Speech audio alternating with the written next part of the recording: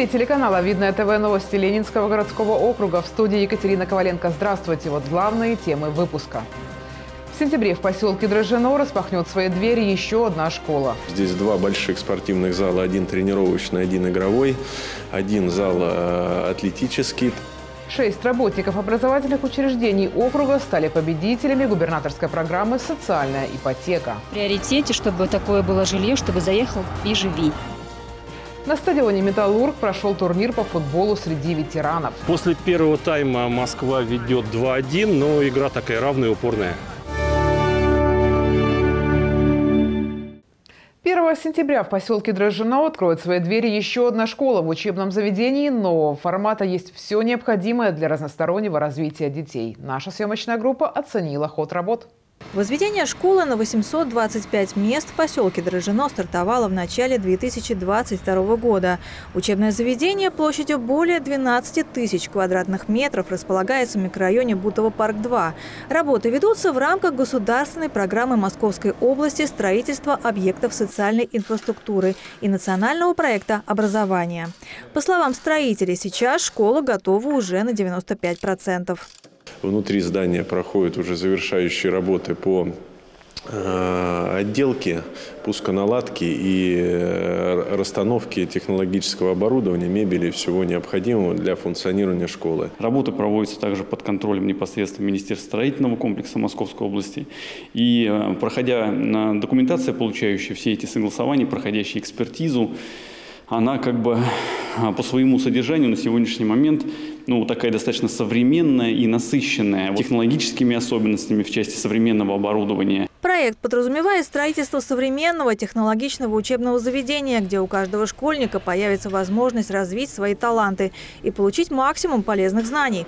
Все классы оснастят интерактивными досками и проекторами. Будут оборудованы лаборатории, мастерские, IT-зона, несколько спортивных залов для разных видов активностей. Здесь два больших спортивных зала, один тренировочный, один игровой. Один зал э, атлетический также находится здесь расположен и зал э, хореографии. Большая столовая рассчитана на 450 посадочных мест и оборудована современным пищеблоком. На довольно обширной территории вокруг школы разместятся стадион с беговыми дорожками, футбольное поле, площадки для занятий теннисом, воркаутом и волейболом. Завершаются уже работы по благоустройству, наносятся финишные э, резиновые покрытия, устанавливаются мафы. Все вот, ну, планируем, как и изначально задача была, в сентябре школа будет открыта. В школе также будет безбарьерная среда для детей с ограниченными возможностями здоровья. Свои двери учебное заведение откроет 1 сентября. Екатерина Борисова, Александр Логинов, Гульнар Балаева. Видное ТВ. Шесть работников образовательных учреждений округа стали победителями губернаторской программы «Социальная ипотека». Среди счастливых обладателей льготы учитель из Видновской школы номер два Асем Жунусова. Начальная школа – это особый мир, считает учитель младших классов Асем Жунусова. Получив педагогическое образование, никогда не сомневалась в том, что работать будет именно с малышами. Ведь благодаря их непосредственности и любознательности сама в душе немного ребенок. Я вспоминаю свое детство, почему-то я уиграла именно в школу. Я помню эти бумажные журналы, где я рисовала оценки. Поэтому только маленькие детки. В город Видный АСМ переехала вместе с мужем и двумя детьми из Сибири в 2018 году. Сначала снимали жилье, потом из-за финансовых трудностей возникли сложности с оплатой аренды. Благодаря директору второй школы и сотрудникам управления образования удалось получить служебную квартиру в поселке Ленинский.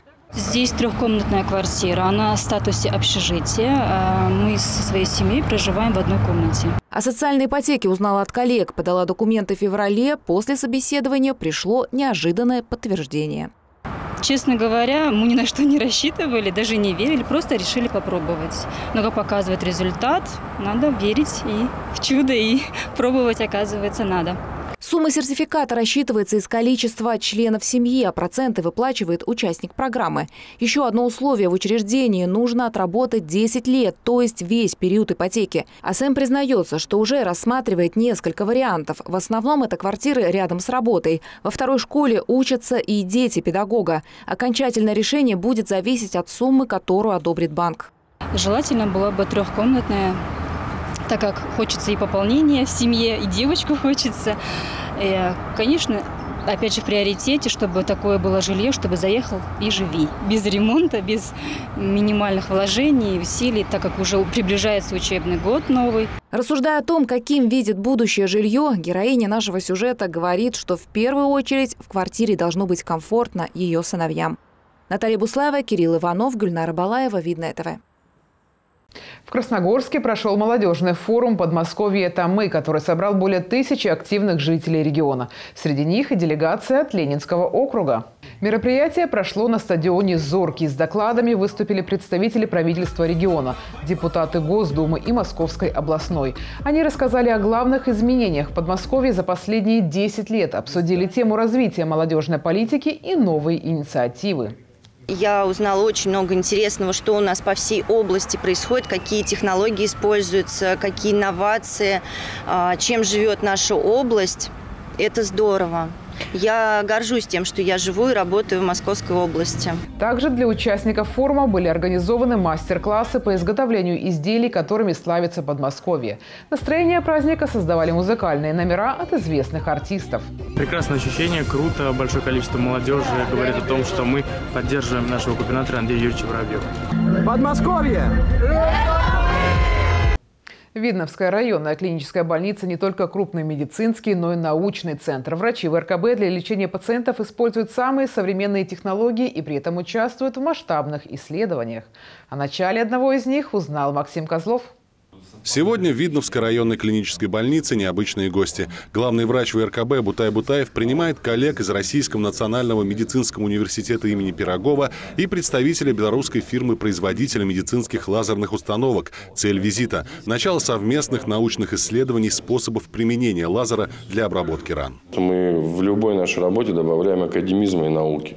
Поэтому, безусловно, это все э, выражается в более современных и высокотехнологических методах помощи э, и какого-то оперативного лечения. Все нацелено на выздоровление наших жителей. В Видновской больнице лазерная установка используется уже три месяца и показывает хорошие результаты, которые тщательно документируются. Несмотря на то, что подобный метод широко практикуется во всем мире, он на самом деле недостаточно изучен. И здесь исследователям открывается огромное поле для деятельности.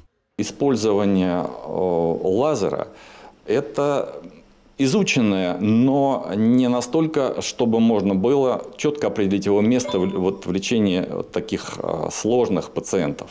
И вот изучением вот этих глубоких проблем, механизма действия, эффекта действия, сроки, показания, а, мы будем заниматься совместно в виде такой мощной коллаборации. Главное преимущество лазерной установки для обработки ран – процедура проходит без оперативного вмешательства, анестезии, применения лекарственных средств и не доставляет пациенту дискомфорта. Аппарат выпускается в Беларуси, а значит, он доступен российским медикам. Как раз самое время еще более объединять, больше объединять свои усилия между странами а, вот, и двигаться вперед. Результаты этой работы, они на самом деле будут колоссальные и принесут пользу обществу. Подписание трехстороннего договора о сотрудничестве и совместных научных исследованиях в сфере изучения лазера для обработки ран, безусловно, станет важной вехой для всей российской медицины. Максим Козлов, Кирилл Иванов, Гульнара Балаева. Видное ТВ. На стадионе «Металлург» прошел турнир по футболу среди ветеранских команд. В гости к видновчанам приехали спортсмены из столицы. Яркая, динамичная игра завязалась с первых минут. Обе команды оказались в отличном игровом тонусе. Футболисты прекрасно знают сильные и слабые стороны друг друга. Они встречаются на поле уже далеко не первый раз. У нас сейчас межсезонье э, в чемпионате Москвы, поэтому мы рассматриваем эту игру как подготовку к сезону. После первого тайма Москва ведет 2-1, но игра такая равная упорная. Во второй 30-минутке Видновскому «Металлургу» не удалось забить гол. Москвичи только наращивали свое преимущество. Итоговые цифры на табло – 3-1. Сегодняшний тур посвящен э, «Нет наркотикам».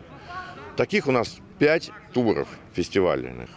Э, турнирной таблицы как таковой нет. Приглашаем команды которые либо готовятся, либо посвящены какому-то мероприятию. Сейчас видновчанам предстоит подготовка к футбольному турниру «Дагомыс Кап-2023» среди команд ветеранов возрастом 45+.